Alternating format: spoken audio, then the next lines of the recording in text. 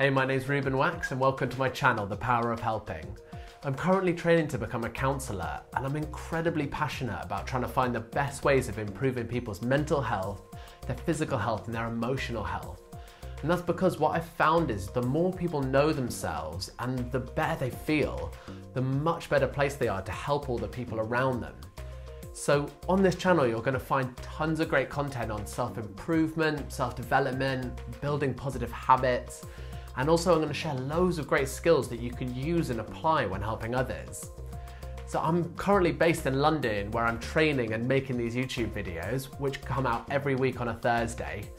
And I'm on this journey myself, and so I'm gonna share all the best stuff that I learn and has a real impact on me.